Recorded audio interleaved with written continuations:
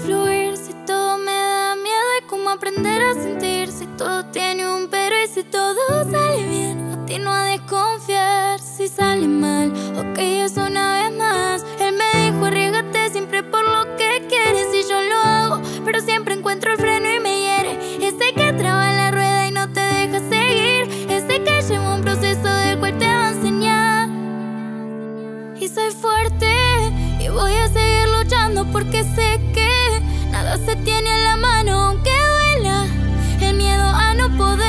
Nunca voy a rendirme porque no está en mí ni en él. Aunque sé que el tiempo está de mi lado, me da miedo. Confiar en él es extraño y no puedo frenar. Por más que quieras tirar, la toalla no es lo que hay dentro de mí.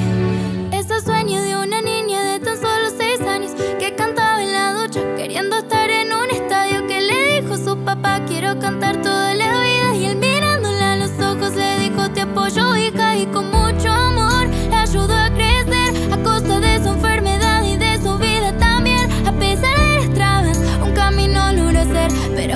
Se encuentro sola con miedo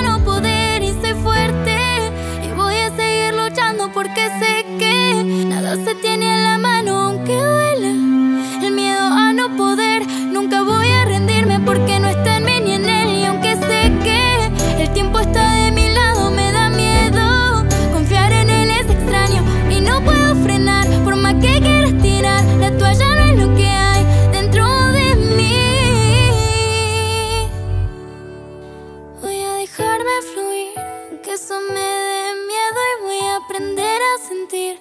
A pesar de los pero y si todo sale bien hoy elijo confiar por él por mí nadie más.